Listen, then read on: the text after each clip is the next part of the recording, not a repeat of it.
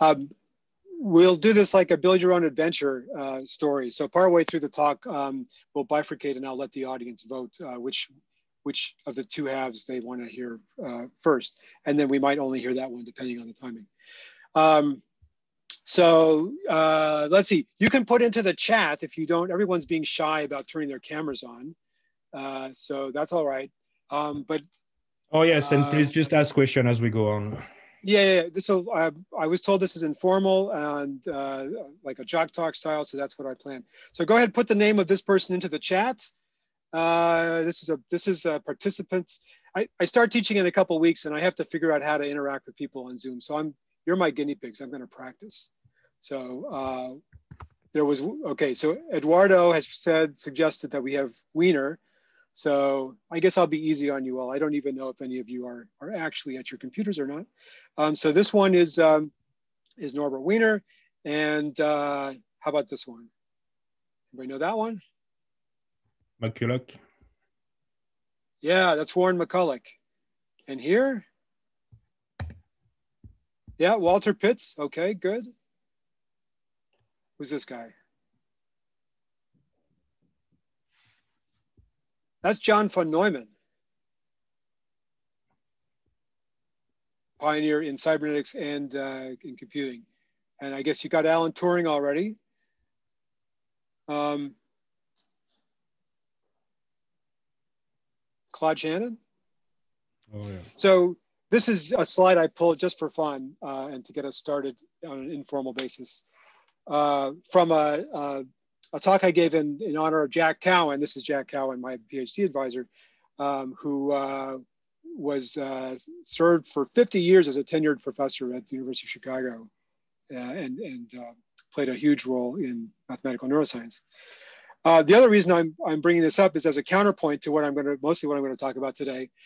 here's a little image from, from the work of each of these of these pioneers um, who had an impact on, in in theoretical neuroscience. And every single one of them is what I would call a brain in a vat uh, theory. That is to say, it's a theory different aspects of um, thinking about how the brain works without taking into account interactions with the uh, with the outside world. Right? It's just what are the possible properties, the computational properties or dynamical properties of of a, of a neural circuit, uh, sort of in isolation. Um, and so since I, um, uh, well, the last 10, 15 years, I've been spending a lot of time thinking about the interaction between the brain and the body. And that's what motivates the, the stuff I'll talk about today. And so that's, I don't know, expanding a bit on, on um, the sort of classical computational neuroscience background. So here's the title slide, um, neural circuitry for multi-layered motor control. Hopefully that will make some sense by the time we get to the end. Um, and I want to acknowledge my collaborators uh, at the beginning so I don't run out of time at the end.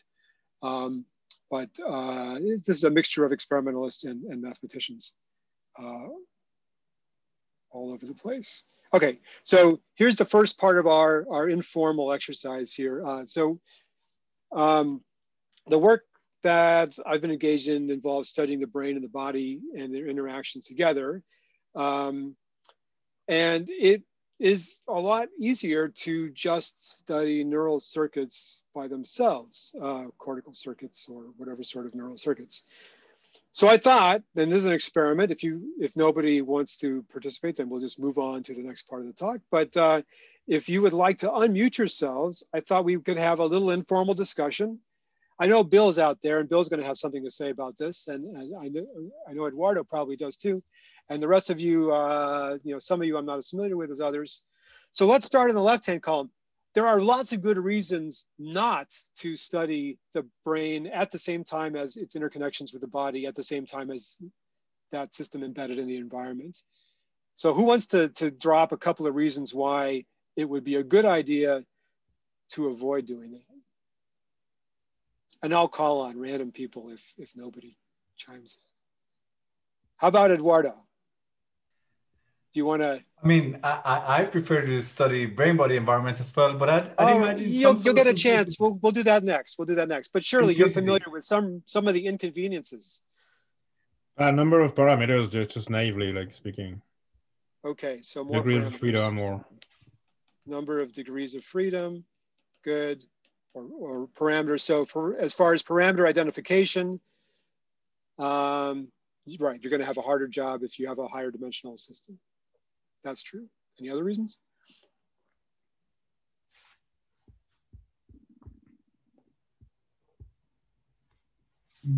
How about how about stationarity? Oh, Rupert, were you going to say something? I saw you briefly unmuted yourself. Go ahead, dive in. Um, yeah, the, so, the unpredictability of the environment.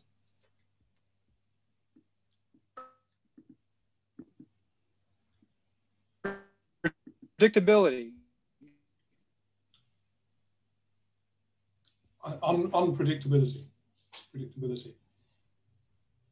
Unpredictability of the environment. Right. So, so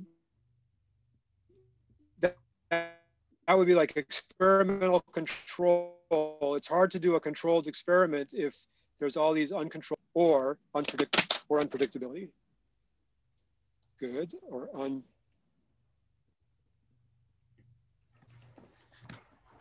Any others? difficulty of instrumentation.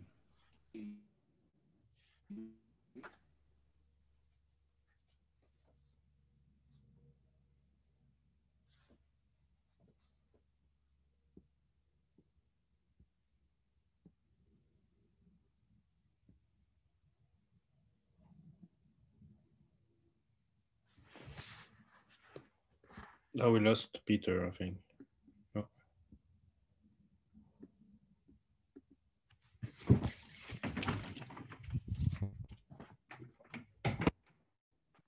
Can you hear me, Peter?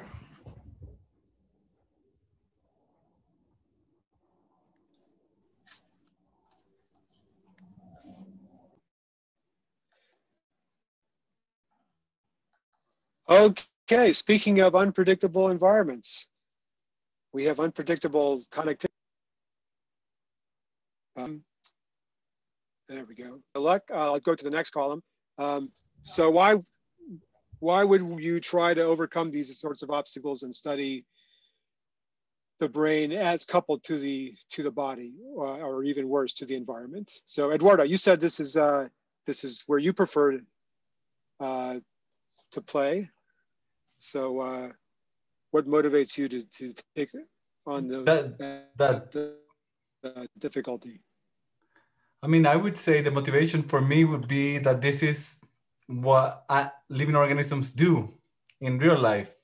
This is how they operate. This is how they exist. No. So the raison d'etre, sort of, so to speak. Yes. Of the brain, uh, and, and the body is that they they do things together. Okay, they evolve together.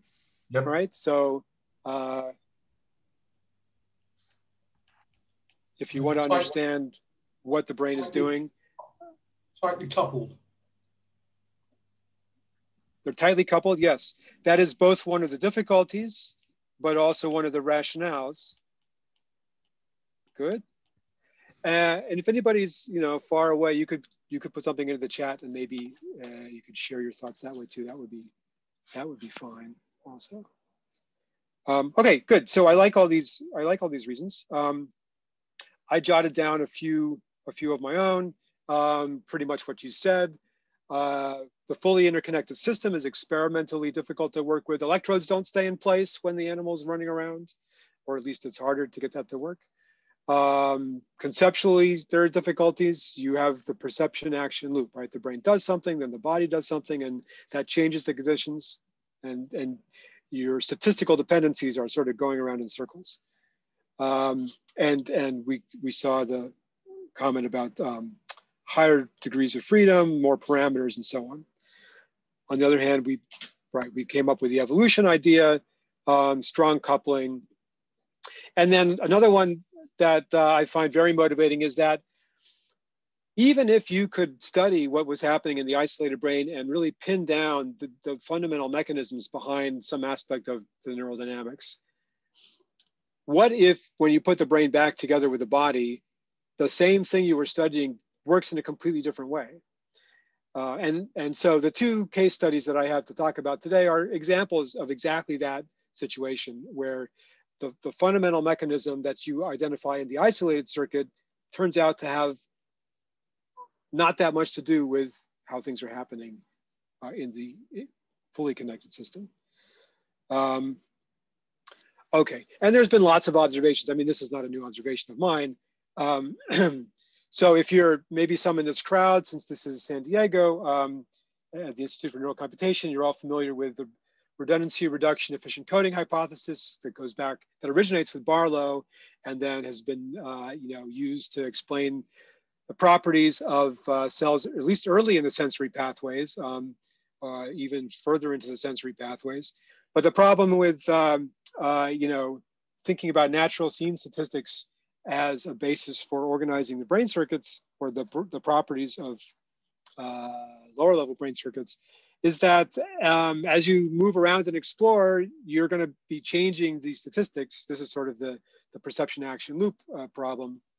Um, the, the very statistics that are supposed to shape the structure of, uh, of everything depend on how the animal is behaving in the environment. Um, beautiful paper that I'm sure you're all familiar with since this came out, out of the West Coast, uh, Churchland, uh, by Mark Churchland, where the statistics of the neural activity, no matter what part of the brain you look in, totally changes when the stimulus starts. The variability, the mean doesn't necessarily change, but the, uh, well, it might, but, um, but the, the variance relative to the stimulus onset totally goes away. Uh, Jack Cowan made a similar point um, in, a, uh, in an interesting paper that he had a couple of years ago. Um, so you've probably heard of the, the Wilson-Cowan equations. Uh, the, in the last 15 years, 10, 15 years, Jack has worked with a number of very talented students, more talented than me, to redevelop the Wilson-Cowan equations on a, as a fully stochastic system. Um, and you get all kinds of new and interesting phenomena. Um, but it, it turns out that the stochastic Wilson-Cowan neural networks do a great job of describing what's happening under spontaneous cortical activity uh, during rest, spontaneous um, activity in the, like if you take a chunk of the cortex out, if you're at rest, um, if you weakly stimulate the cortex. But it turns out if you strongly drive the cortex, okay, so you turn on a strong visual stimulus or you have some other strong drive, then consistent with Churchland's observation, um, what happens next is actually better described by the original ordinary differential equation or partial differential equation type Wilson-Cowan equation. So the, the, the, fundamental mathematical description of what of how you approach modeling um, the cortex in this case, or I'd say the brain generally, um, it can just be completely different. Uh, the appropriate context can be completely different when you have strongly coupled brain-body interactions. All right, so in order to make progress on understanding uh, brain function as a theorist with this, uh, these issues that have to do with brain-body coupling in mind, um, one has to work with tractable systems uh, so that you can actually get somewhere. And I have two different projects that I'm, I'm ready to talk about, whichever one you would like. This is the one where you can, where you can vote. Um, so one nice case study of this brain-body interaction is um, the mammalian breathing system. Okay, so the goal of the breathing system is to get air to come into the lungs and uh, oxygen into the bloodstream.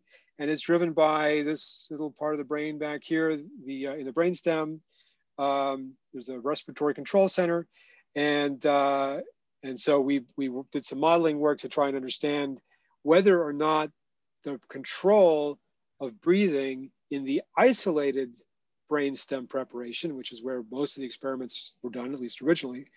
How is that related to the control if you actually put it inside a closed loop uh, control system where it's sending signals to the body and getting signals back from the body?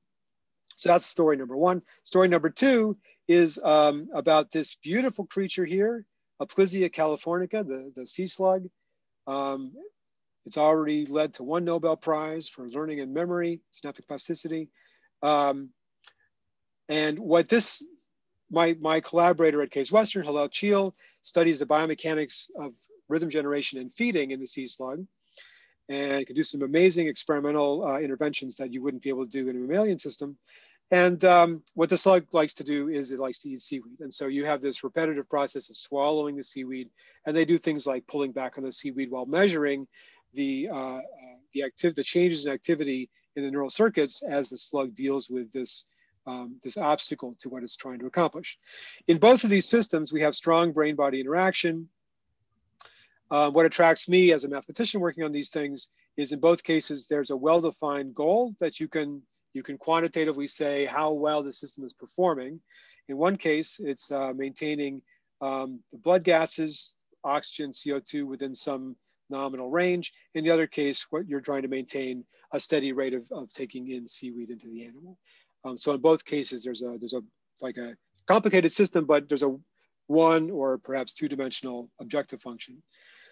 And in both cases, we have a central pattern generator um, involved in producing this activity. So this is a kind of brain circuit that uh, doesn't create extremely complicated patterns. It, it has a modest uh, repertoire of patterns.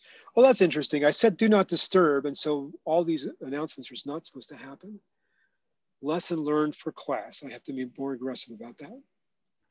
So you get to vote. Um, go ahead, put in the chat uh, whether you would rather hear more next about breathing or about uh, slugs chewing on seaweed. The simpler of the two systems, says Eduardo. Terry wants both. We could do both, possibly. Breathing, okay. Slugs, slugs, slugs. Uh, the slugs seem to be carrying the day. So I'll jump to the slugs and then we'll come back to the breathing um, and we'll see how the time goes. And I know, uh, actually, uh, Frederick, is this a one hour session? Oh yeah, but we can easily extend uh, another half an hour if people are interested. Yeah, so I'm I'm I won't be offended if people leave. People may be leaving, and I won't even notice. That's a great thing. The difference between Zoom and a classroom. Um, as long as there are three people in the room, it'll, to me it'll look like it's full. Um, but I, I'm available beyond the hour, so I'm happy to keep going as long as people have questions. So let me jump down to um, the sea slug, since that seems to be, uh, okay. I see Carter there. Good, so I'll come back to the pre-Bötzinger complex story later. And here we go, okay. right, so here's Aplysia californica. Now, um, uh, when Hillel and I write grant proposals, which we do from time to time, we sometimes get the question, why should we fund work on invertebrates? And just in case any of you uh, might ever have occasion to ask yourself that question, there's lots of good reasons. Basically, everything we know about the brain was discovered in invertebrates 20 years earlier before it was worked out in mammals. And so, um, you know, you can look into the future of neuroscience by, by funding invertebrates. Uh, here's some examples. The action potential generation, noise synchronization, right? Uh, Terry's here. Um, uh, beautiful, beautiful work that actually got me, is what inspired me to come uh, pursue computational neuroscience as a career was, uh, was Terry's work with Zach Mainen. And uh, uh, Bryant and Segundo, 20 years earlier, were able to demonstrate something similar in Aplysia californica. It didn't get as much attention because it wasn't in, in mammals. Um, and Plizzy are a lot easier to work with, so it's possible to, to get things up and running. Um, synaptic plasticity, neuromodulation. Okay, I won't, I won't bore you with all this. Um, now, I'll show you a movie. For those of you who are not steeped in slug culture, uh, I'm going to show you a movie of the slug swallowing seaweed. And to do that, I have to switch to sharing the screen on my laptop, but that won't just take a second. Okay, so that goes right over here. Good. Okay, so that was a painless transition. Here's a sea slug. Um, it likes to eat seaweed. In the forceps, there's a little bit of seaweed, and it can it can taste it. It's got a very good chemosensation, so it knows it's out there. What you see is the the little um, the, the the lips open and this little grasper comes out, that little white thing with a slit in the middle. There's a bunch of little teeth uh, embedded on the surface of that, giving it a rough surface. and it uh, reaches it forward and tries to close it down on the seaweed. And uh, here Claude Weiss is uh, just teasing it. Um, in this picture, this is from the uh, Claude Weiss's group at Mount Sinai in New York.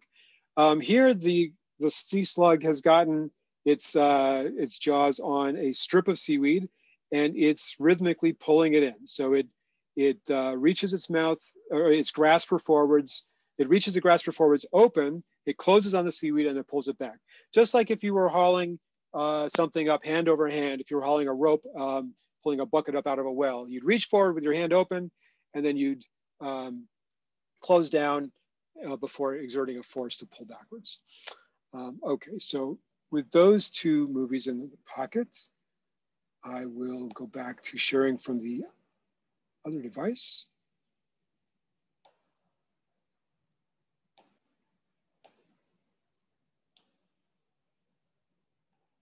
Okay, so I will stop sharing here, and then I will share over here.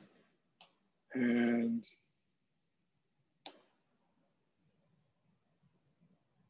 here we go.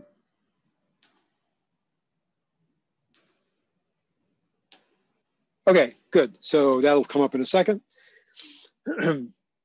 so here's the kind of data that, uh, that my colleague Hillel can record. Um, uh, four different channels, um, uh, typically hook cuff electrodes in, in, this, in these recordings. There are some intracellular recordings as well. Um, and he puts a cuff electrode around the I2, the, the nerve that's innervating the I2 muscle, um, the radula nerve, buccal nerve 2 and buccal nerve 3. And uh, in biting, biting is an attempt to grasp food. So that's when you're reaching forward, you try to grab the food and you, you, you miss. And so then you try again. There's a, the, the, the neural activity is noisy, but there is a discernible pattern. So you have one, two, three, four, five, six uh, bites. Uh, I2 is the pro, a muscle that protracts. So it pushes the grasper forward to try to get to the food. And then the uh, on buccal nerve three, for instance, you have uh, activity which is retracting. So it's protracting and retracting. And you see a similar repeated pattern six times, although there is a lot of variability. Um, now, once you've once you've grasped the seaweed, then again you uh, you repeat a similar series of motions, or you, you open, protract, grab, retract, and repeat, um, and you see a similar pattern of activity. Uh, although again, it's quite noisy. And if you pull on the seaweed, so they can, uh, uh they devised a way to attach nori, um, seaweed you would use in cooking, onto double-sided uh, sticky uh, double scotch tape so that they can actually pull back on the seaweed. And then the slug has to work harder to, to pull it in. And so then you see this more intense activity compare. So um, the retractions are more intense and so on. Okay, so that's the kind of data that we've got. Um, they can go through and they can extract larger and smaller units and identify um, uh, several different units on each channel. And so they use these temporal landmarks to, um, to, to, to be able to break down what's happening into a um, more detailed description. And so uh, this is the this is the data that that really got me hooked on this project quite a few years ago now. Um, in this case, we have, we have a biting pattern. We have a fictive biting pattern. So this is where the central pattern generator, if you will, the, the neural circuit that is driving the motor output has been, um, uh, it, it's, a, it's a partially reduced preparation where they've dissected out the mouth parts and the nerves connecting it and the part of the brain that drives it. So it's, most of the slug is now missing a lot of the sensory feedback is missing, um, but you can still produce similar patterns. And there, uh, you know, if you look at the patterns in detail, basically the same events happen at the same time uh, in the same sequence, but with slightly different timing. And if you plot um, equally spaced points in time here, this is these three axes are, are the rectified voltage uh, from three of these channels. And you see that you sort of um, you come down here and then you have a bunch of points up in, this corner and then you have a bunch of points in this corner and then you sort of make an excursion and I don't know, maybe you have some uh, points in this corner. But um, there's a mixture of regions where you move quickly, and then regions where you, you sort of have a metastable state, then you move quickly, and then a metastable state. And you see similar uh, collections of points um, in all three preparations. So this one is the partially reduced, and then this one is where they completely dissect out the just the uh, the ganglion that drives the the uh, uh, the feeding pattern. And now the mouth is gone, the sensory feedback is gone, all the nerve fibers are gone. All you've got is just a collection of a dozen or so cells. Uh, one of the strengths of Aplysia, for those not familiar with it, is that they have identified neurons. So you can repeat the same experiment with exactly the same cells from one slug to the next, from one, one week to the next. So in this case, where everything has gone except the central pattern generator, you see a similar pattern of activity, but the, the, the bursts are much more intense than they were under the more natural uh, uh, experiment. And so, and you also see a longer time scale. It's a little bit hard to read, but uh, this is 10 seconds here, and this is 20 seconds. So these burst patterns are, the whole thing is slowed down, almost as if the neural dynamics has a built-in fixed point, and you wait at that fixed point until you get a signal from the body telling, okay, you've done that long enough. Now it's time to go on to the next part of this motion. And if you don't get that signal, you wait a long time before you move on anyway. Okay, so we thought, well, what kind of system, what's the simplest kind of system that would do this? And we came up with a, um, a model. Oh yes, this is now time for the, the chalk talk, chalk talk part of it. So um, we said, we, we put together a model with the following general kind of structure, and then I'll give you the details for some of the details for Plysia. So we're thinking about um, the neural activity as a vector. There's a couple of different uh, pools of neurons And uh, the neural activity obeys some dynamics. If you took the body away entirely, this is like what we're seeing in that slide where with the completely isolated um, uh, uh, buccal ganglion. So then, in addition to that, we've got the body. So I'm gonna lump together all the variables, the muscle activations, the locations of the, you know, the grasper along the protraction, retraction axis and so on into um, uh, into X. So A here is the neural activity. And uh, X is all the body variables.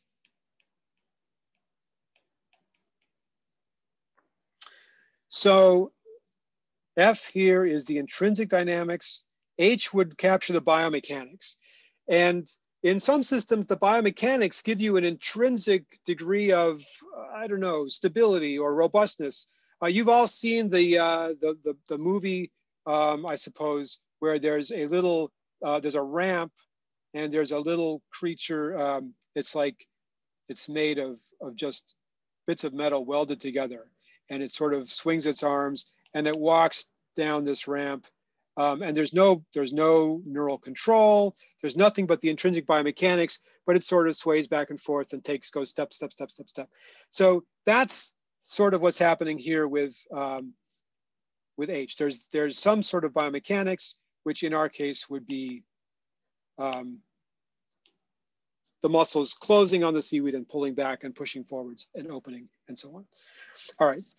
So if I just had a system like this, um, we're interested in a situation where this intrinsic neural dynamics is going to produce some sort of rhythmic pattern, like a limit cycle. So it's going to do the same thing over and over again.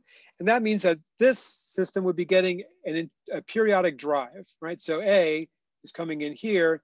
And so then you could be periodically driving. And this is what we would call the open loop control of a rhythmic motor system. Um, because there's nothing, nothing from the body is going back up to influence the brain. Um, and for a specific task, you might be able to set something up like that so that it basically works. But then in, in the real world, I think when we were discussing pros and cons of, of embodied uh, neural modeling, um, someone mentioned the unpredictability of the outside world. And the unpredictability is an issue for the sea slug too. Um, the seaweed that it feeds on in the wild comes in all different shapes and sizes, thicknesses, and, and resistance to swallowing and it's operating in a tidal zone where there's you know water uh, pushing it around.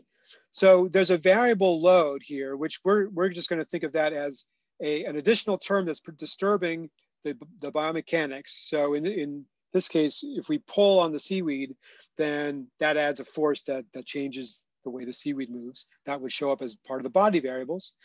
And the way it deals with that, or part of the way it deals with that, is by adding another term, which is the sensory feedback. Okay, so um, F is the intrinsic dynamics. G is the sensory feedback.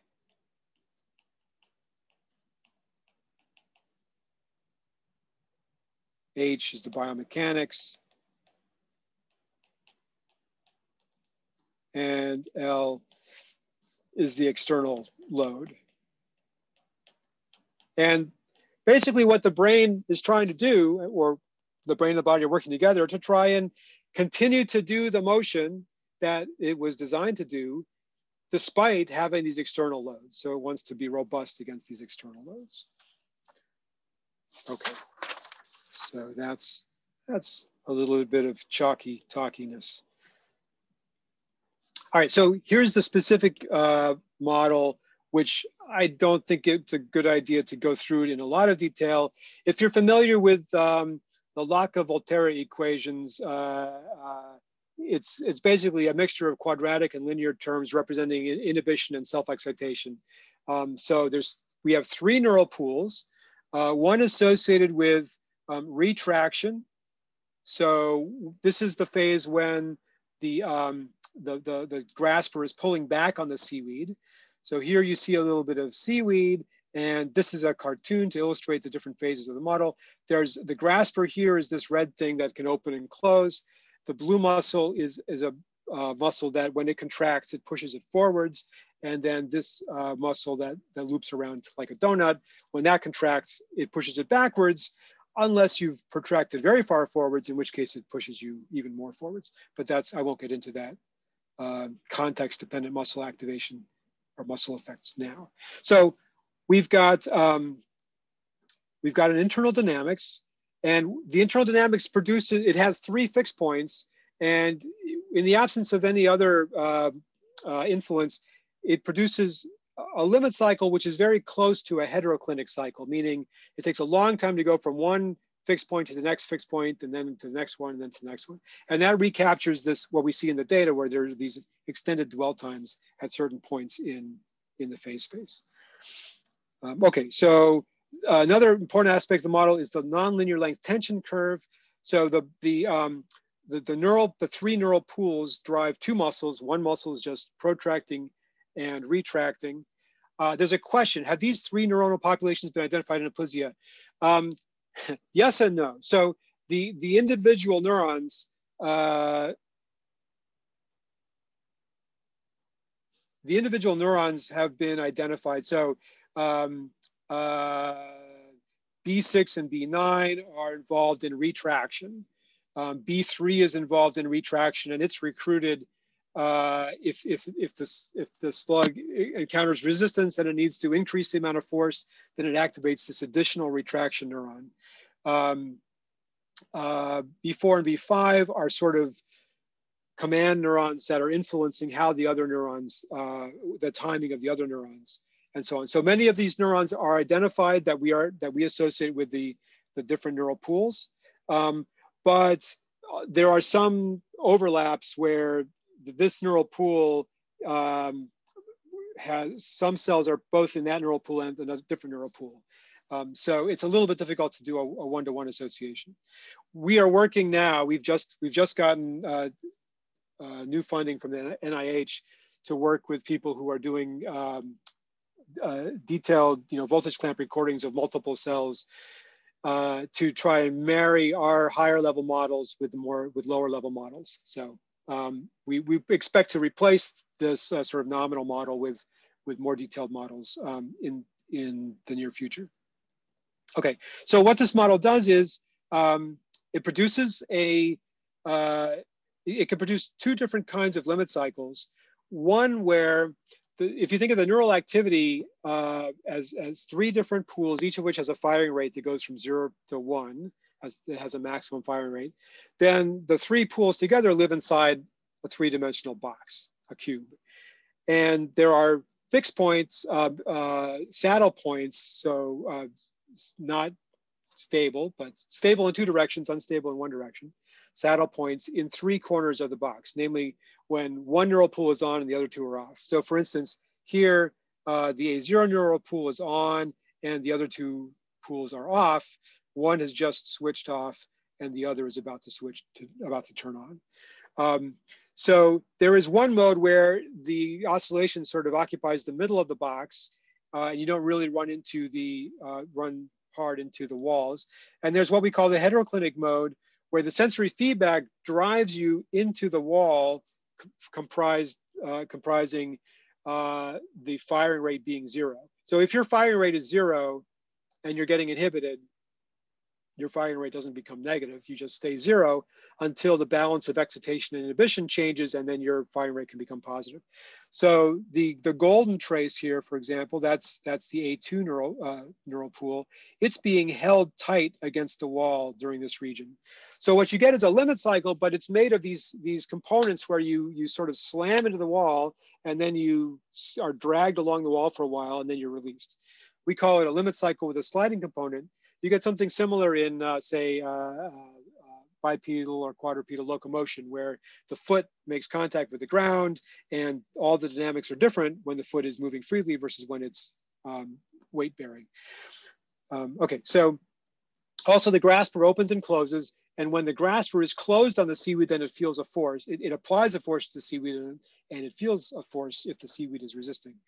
Um, so in these plots, the thick green line is where the grasper is closed on the seaweed, and the, the thin line is where the uh, grasper is open. And then we just assume during those parts to, that the seaweed is not moving.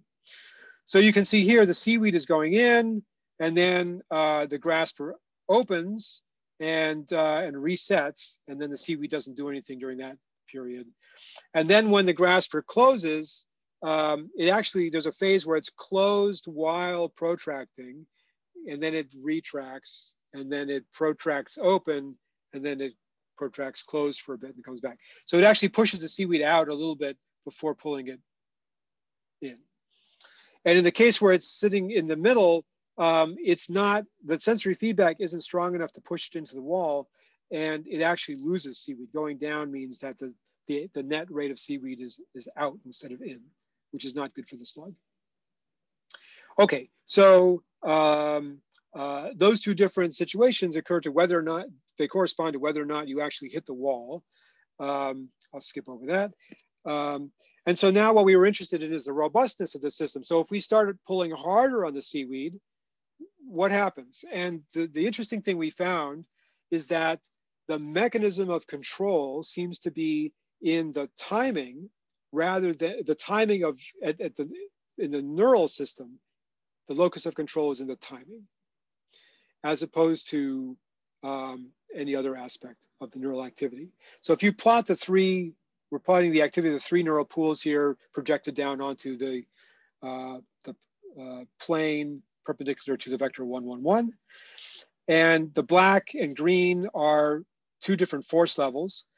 And you see that the, um, trajectories are almost exactly the same as a set of points, but in terms of the timing, um, when you are in the retraction phase, uh, you spend longer in that phase than you would when there's a higher force. And so what happens is you, you're delayed, your overall cycle length is delayed, but you use that delay to build up more and more muscle strength because the muscles are slow and it takes time for them to develop adequate forces. That corresponds to the muscle properties in aplysia. And so the way the system responds to pulling on it with a bigger force is it pulls longer and stronger. Um, and so you can see there's a change in the shape of the trajectory here in the components, in the body components. There's a change of timing in the brain components and a, ch a change in the, the timing and the shape in the body components.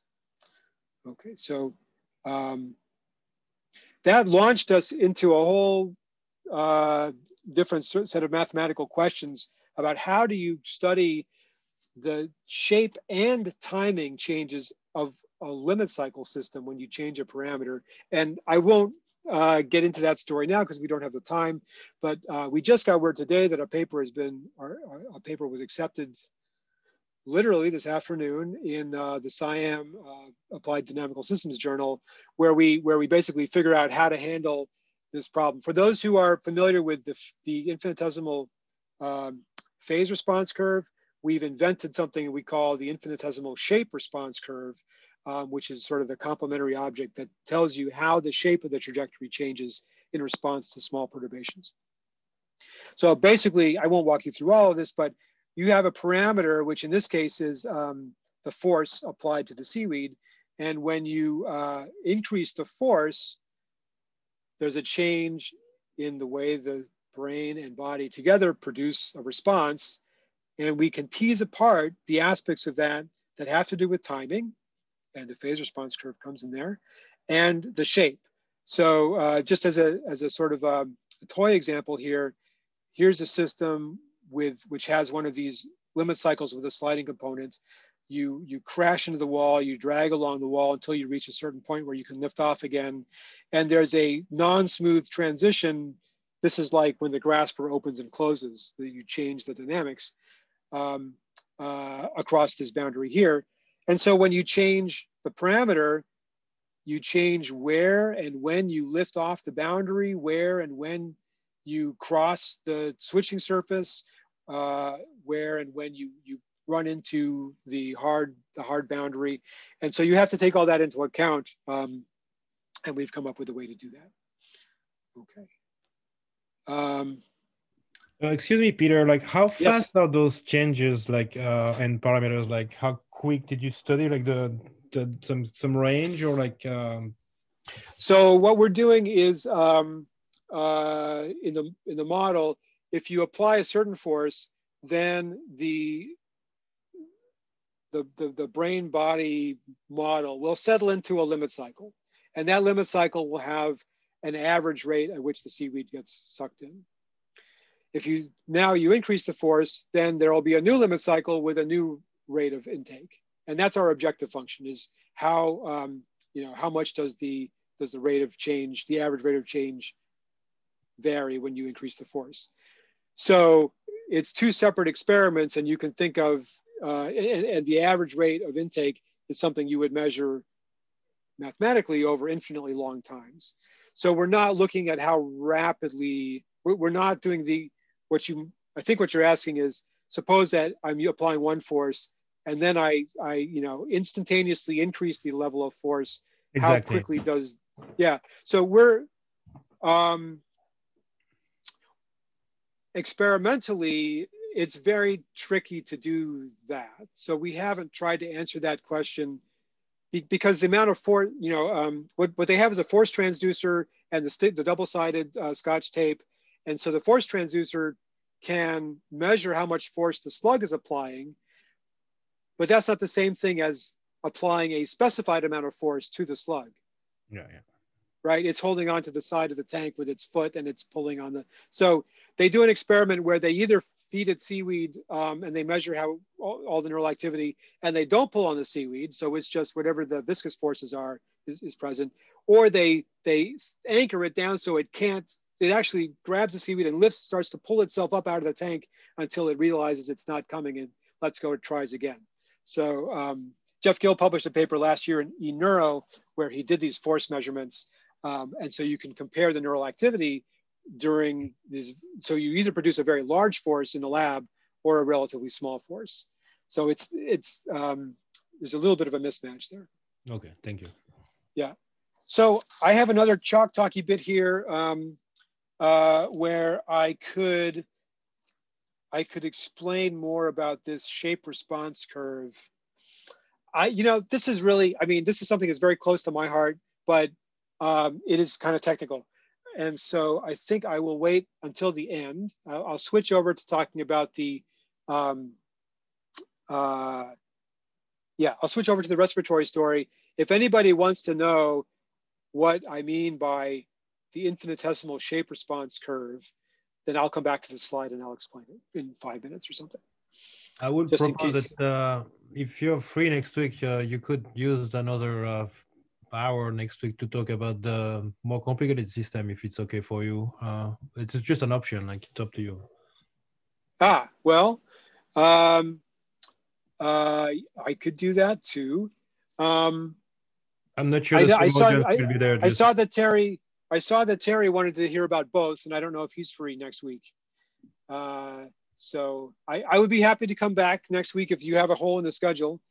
Um, I will quickly check my own schedule just to make sure that that is an option. It's definitely free. We're doing every other week, so next uh, Thursday is it's open for you if you want. I would love to come back. Sure, that would be more relaxed.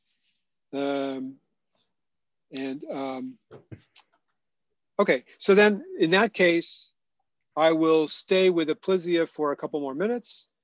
Um, and then we'll call it, we'll call it a day. And I'll still, I can still stick around. All right.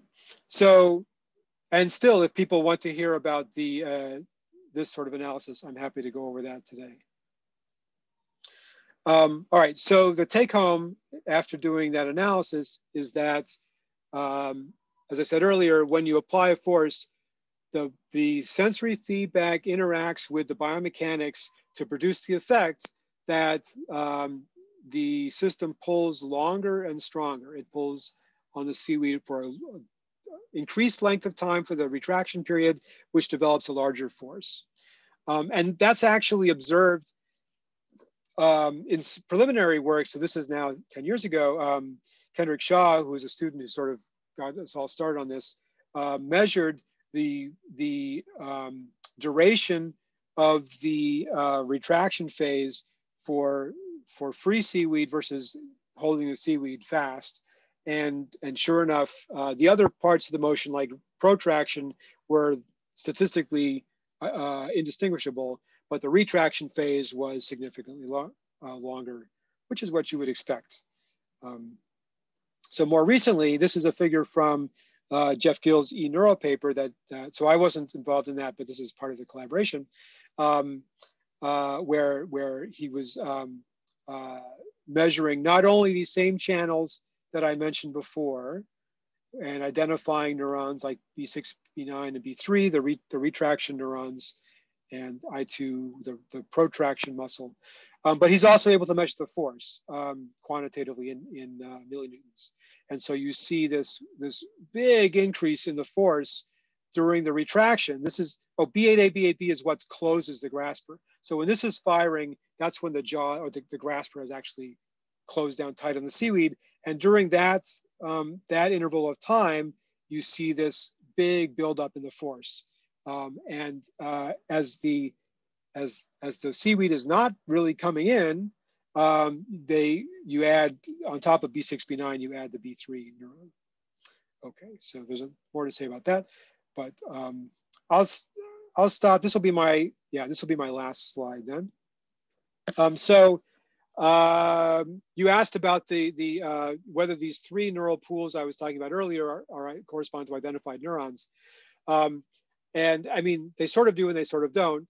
But the next generation of model that we're building is based on uh, uh, taking the actual identified neurons and what we can tell about their connectivity to each other and to the muscles um, uh, and building here we've built a, a simplified model in which the neural activity is just reduced to a Boolean on-off system for, well, one of the neurons is ternary. It can be on, off, on, or really on. But um, most of the neurons are either on or off. They're, they're just bursting or not. And um, by going through the, the data, um, the, the hand scored data that I showed earlier, like these pictures here, we can we developed um, you know a Boolean representation where sorry about that, um, where so B31, 32 turns on. That's the that's driving the I2 muscle. So during protraction, in biting, you you you this is where you push the grasper out. B8A, B8B. Um, I'm gesturing on the wrong one. Okay. Uh, so there's I2, there's B8A, B8B, and then uh, that's with the grasper closing. In this case, it fails to grasp food because it's a biting pattern. And then it, it retracts weakly, retracts and resets and repeats. Um, in contrast, in swallowing, you, you start, so in swallowing, it's already got its mouth on the seaweed. And so the first thing that happens is this B38 pinches the lips together to sort of hold the seaweed in place while it repositions inside. It, it opens and, and push the, pushes the, the grasper forward. So then this is the protraction where it pushes the grasper forward. You can see diagrams of the different muscles over here. Um, this is all, so if you want to go through this in detail, this is from something that we just published in Biological Cybernetics um, a month ago. And uh, once you've protracted, then during swallowing, you close down. So B8A, B8B here is closing the grasper. Now, when you close the grasper, it actually changes the shape of the grasper, and that changes the mechanical advantage of the muscles that are pulling it in and we've incorporated that sort of element in as well. Um, B6, B9, and B3 are the retraction.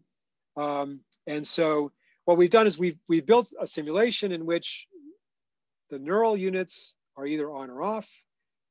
The motor units are all continuous. So the position forwards or back, protracted or retracted, and the level of activation of the muscles, those are all um, uh, following continuous ordinary differential equations, but they're driven by this switching network, which is the bursting cells. And uh, the third motor pattern here is rejection. If, if the thing gets something in its mouth that it realizes was a terrible mistake, then it actually can push it out. It can open, retract, close, and then strongly try to, to protract while it's closed. And you can see here, if it's closed, so B8A, B8B are active, closing the grasper and protracting at the same time. It's trying to get rid of whatever, whatever was in its mouth. Okay, so there's a lot more to say about that, but I think this is probably a reasonable place to stop. I do have a conclusion slide, uh, which is just the abstract I sent around at the beginning anyway, but so uh, hopefully I've convinced you that uh, there are interesting questions when you look at brain dynamics and biomechanics together. Thank you. So if you have any questions now, feel free to, to jump in. And um, otherwise, we're going to do the second part next week. I will send another announcement, but uh, um, we're recording anyway. So if you cannot make it next week, uh, you'll be able to get the recording of the talk on the, the INC website. Uh, so please ask your question to, to Peter uh, now.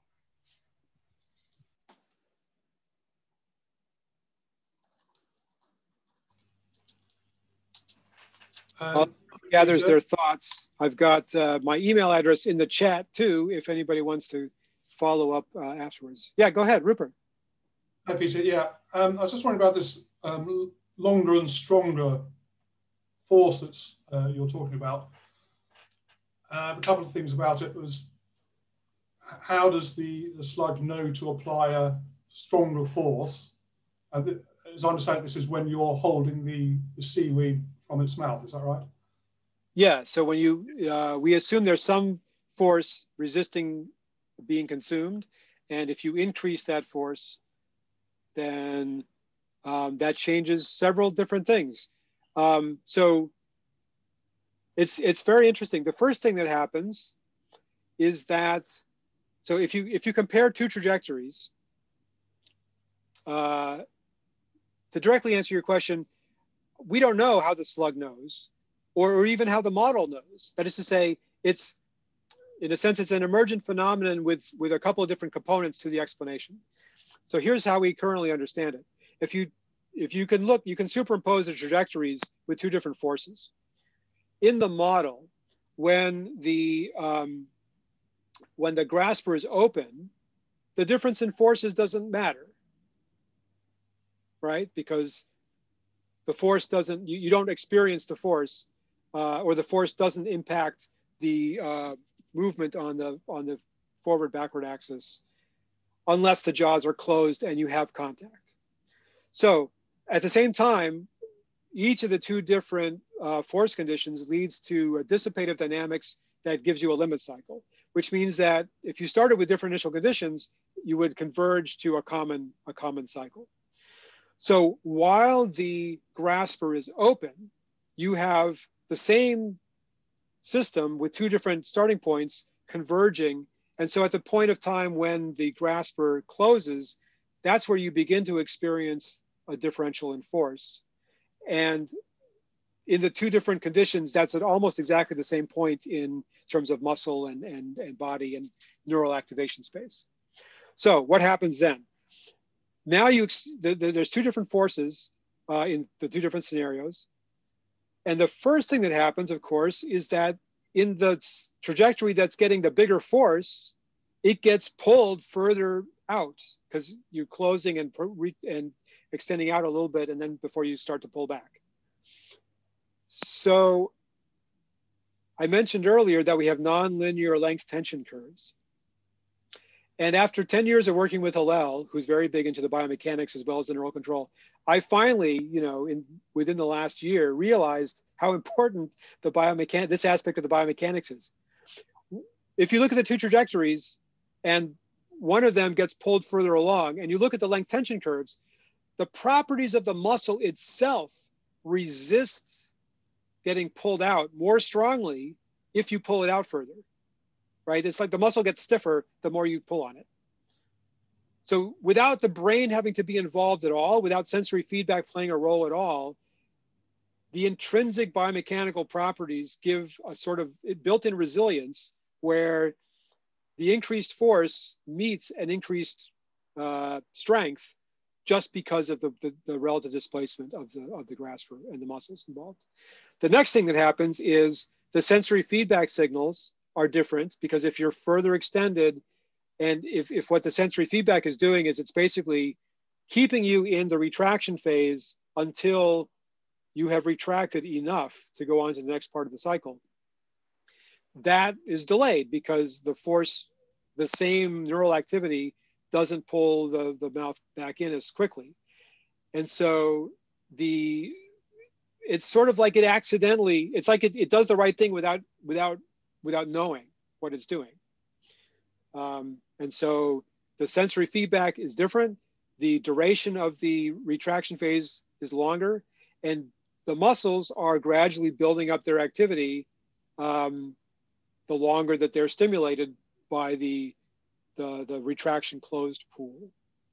So all this works together to give the longer and stronger. It's not, there isn't any sort of central con, uh, controller where the slug recognizes, aha, I'm up against a, a, a, a, stiffer challenge here. I need to respond appropriately.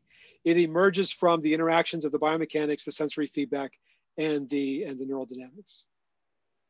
Okay, so I was just wondering whether you plotted the, the force which you're um, holding onto the seaweed with against the force that the slug is applying, whether there's correlation between, you can see any correlation between them. Um, so in the model, that, that, that force is the same, right? The Newton's law, the force that the seaweed is applying to the, the slug is through the grasper and vice versa. So those two forces are identical in the experiment, um, you, you tether the seaweed to the force transducer, which essentially makes it immobile. And then you can measure the amount of force registered by the, these, by the, um, by the servo motor, which is presumably the same as the amount of force that is say, if you put a tension meter in the middle of your, of your strip of seaweed, it would read the same in this direction as in that direction so I think the I don't think there are two separate forces. Now the grasper is connected by soft tissue to the head, which is connected to the body, and so the the force is sort of you can you can build more complicated uh, force body diagrams, and that's exactly what our collaborator at uh, Carnegie Mellon, uh, Vicki Webster Wood, has been doing. Who's the first author on this on this most recent paper? But there aren't really two different forces. Uh, Leif Gibb, oh, Terry writes, most studies of swimming in leech and lamprey don't include the body, but the ganglia can still undergo fictive swimming. Yes, absolutely right. And so in the in the model, um, we have fictive behavior in the model as well. Uh, I mean, in the in the real system, well, also in the model. So back in this uh, in this situation here, um, this is this is a similar kind of pattern in the completely disconnected uh, ganglion as in the intact animal when it's actually biting. But it's not exactly the same pattern. It's uh, distorted in terms of the intensity of the bursts and the timing of the bursts. Um, so fictive, and next week, I guess I'll talk about fictive breathing.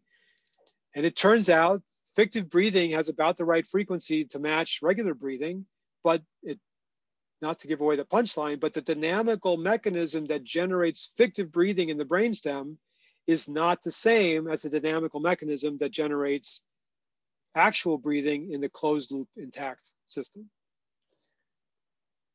So yes, um, the the the the um, uh, the swimming in the leech and lamprey, um, they produce rhythms that resemble the rhythms in vivo, but they might be producing them through completely different mechanisms. Uh, and I think uh, Carter Johnson is here. He, he just uh, wrote a beautiful PhD thesis on, um, you know, the, the, the role of biomechanics in producing the motions in uh, swimming of, I, I, believe it was the leech. So he could he could answer that in more detail than I could. Let me look now at C. elegans yes. actually. Sorry, C. elegans. Okay, okay, not the leech, but C. elegans do fictive. Which don't, to my knowledge, do fictive locomotion now. I take it back. I, I sit correct. Okay. Uh, let me go on to Leif's question. Which parts of this neural system in Aplysia show plasticity? Ah, very good. And on what time scale? so, um, yeah, there's all kinds of neuromodulation and variability and, and plasticity on, and on many different time scales. Um, if you start the slug out cold and you start feeding it seaweed, you go into the tank and you just start feeding a strip of seaweed, um, it uh, uh, the bites get more vigorous as it kind of gets going. So there are mechanisms that I don't think are particularly well understood by which um, driving the muscles gradually increases their responsiveness so that the, the third bite or the third swallow isn't is stronger than than the first two just because the muscles were kind of um, you know you experience this when you first get up in the morning. You you hop out of bed and you go for a 10 mile run it feels different than if you're doing that at the end of the day. Um, so there's that kind of short-term uh, plasticity at the level of the muscles. Um, but there's also learning processes that happen there's beautiful work by um, Avi Susswein at Bar-Ilan University in Israel, um, where he took seaweed and he put it inside mesh bags that were uh, inedible. Uh, that, that, the so the he put it in the tank, and the slug could smell that there was seaweed there because they can detect it, you know, uh, odorants through the water. They would crawl over to it and they would try to grab it, and they would keep going for I don't know, you know, hours, maybe half an hour, or something. They they would very persistently try to eat this seaweed that was being kept from them. And then, like the next day, the same thing would happen. But if they repeated this experiment enough times, eventually they learned that that kind of seaweed, although it used to be perfectly good for them, uh, it was no longer edible. And they would ignore it. So the bag would go in with that kind of seaweed and they would ignore it. But if you put a bag with a different kind of seaweed, a different species, they would crawl over and they'd have to learn that that one was inedible too. Um, so there, there is learning and plasticity uh, in, in the feeding response of these, of these, organ, uh, these organisms. I'm not sure if that was the question you were asking uh, or something else.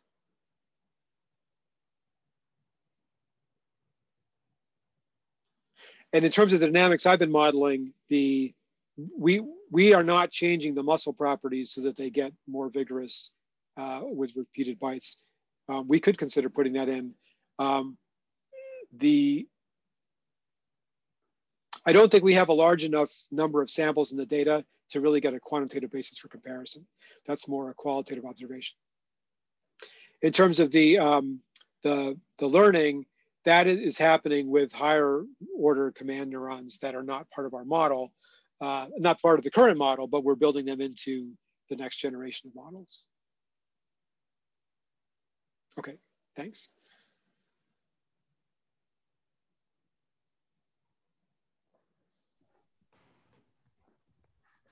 So I'll stick around as long as um, as anybody has questions. Um, but I'll also come back next week if that's what you would like. It's cheap yeah. to travel to San Diego these days if you're not actually traveling.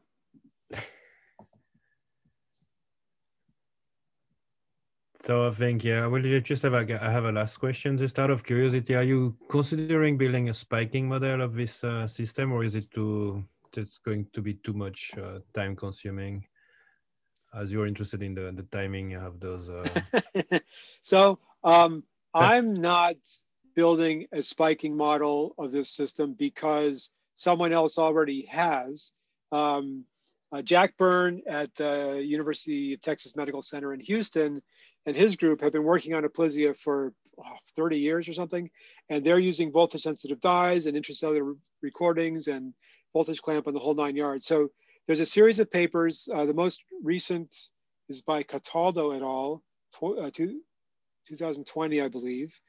And there was one by Costa et al., 2017, um, in which they are laboriously assembling a conductance-based, the, the, the, the, the electrophysiology of the individual conductances is not the hardest part. It's the synaptic, getting the synaptic connectivity right. But they're, they're, they're doing all that. And so they're building a model and and we I mentioned this NIH project that we've just started. Hillel and I are collaborating with Jack Byrne and with um, Avi Susswein and and and uh, Claude Weisman and, and, Betsy Cropper. So we're all working together now. And one of our our goals is to dovetail um, the conductance-based model that um, that Jack Byrne's group has developed and is continuing to develop with our biomechanical models. Uh, oh, great. To, that's, that's, yeah, that's, I mean, we've just gotten, you know, I got the notice of award like last week. So it's early days, but within five years, we'll, we'll have something. Yeah. okay, great.